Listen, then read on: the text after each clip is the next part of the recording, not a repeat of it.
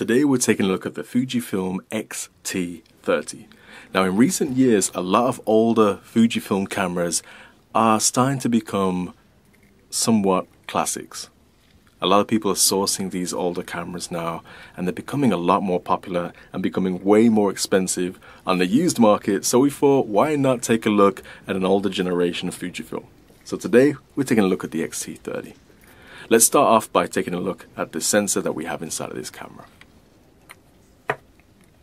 So the sensor inside of this camera is an APS-C size sensor.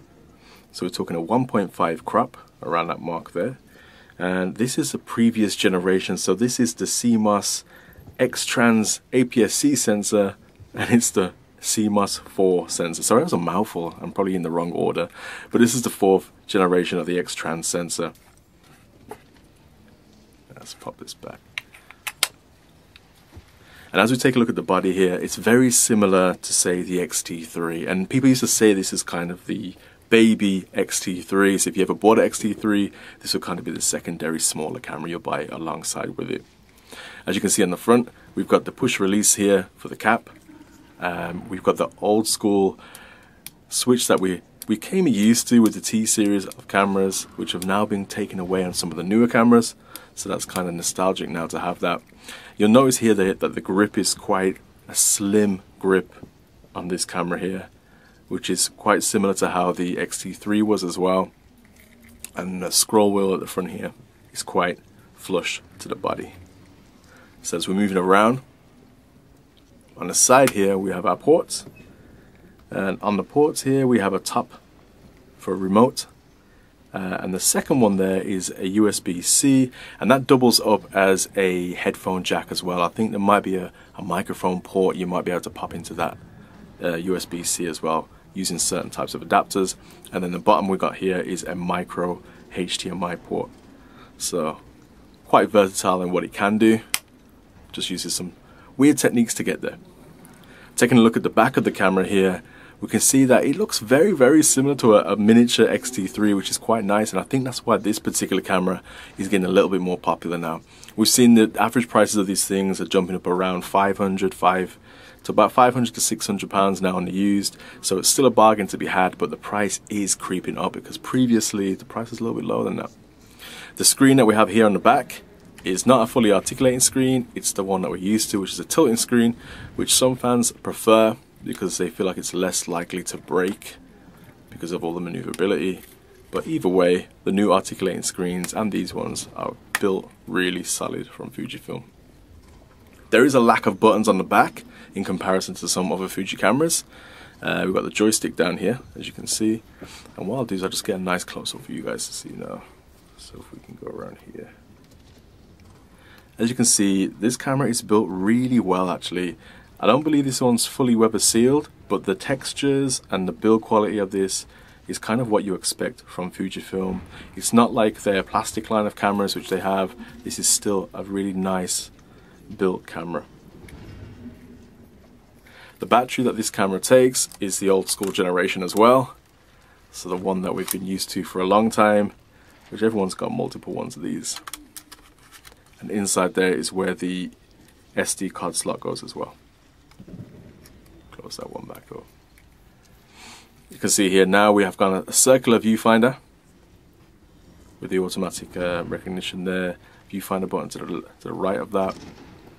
And also the buttons and another scroll wheel here that we can see. When we're looking at the top of the camera, it's reminiscent to what Fujifilm have been doing in recent years and we've got all the toggles and dials and everything that we kind of need. So going over it briefly, here we can see we've got exposure compensation, which we can rotate clearly here. Above that, we've got a functionality button. We've also got a screw-in thread here for the shutter, for the shutter release. So if we did want to get a wired port into that, we can kind of wire uh, a trigger into that, which is quite nice. Here, which is quite different to say the X-T3 series and things like that, we actually have an auto switch. So we can just switch the camera into auto using that switch there, which is quite handy to have if you just wanted to suddenly go from a manual to an auto experience and then go back and forth. Here we have our shutter speeds, which you'll all be familiar with now if you use Fujifilm cameras.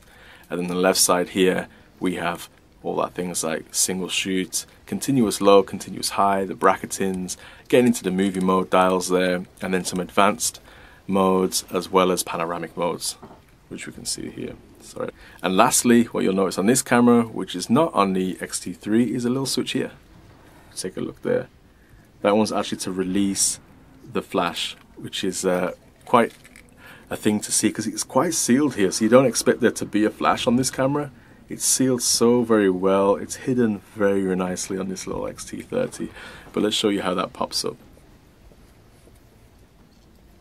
We push our button here. How nice is that? Yeah, hidden away pretty nicely. Okay, let's take a look at the menus a little bit here. Let's dive in. Let's make sure you guys are in focus again. Hopefully we've got battery this time. And I just want to dive into the film simulation. So as far as the menus go and things like that, it should be very, very similar to all of the older cameras. What we are getting with this camera in particular though, we are getting 4K video with it. Um, I'm not sure if they introduced F-Log into this camera, but there may have been with a firmware update. If not, you know how Fujifilm are with their Kaizen updates, if they ever put them out nowadays, but sometimes they will incorporate those things into it. So if you're looking for a camera with great megapixels, 26, and 4K video, you can get that inside this X-T30. So as we're used to, this camera can shoot in RAW and can shoot in JPEG as well. A lot of people that are using these older Fujifilm cameras are just using it for the JPEGs because the JPEGs are that good out of the camera on these things. You can add your grain effects, got your color chrome, so you can do full adjustments that you need to yourself. So you can basically edit your photos with inside the camera and get the look that you need, which is really nice. So let's take a look at what film simulations there are.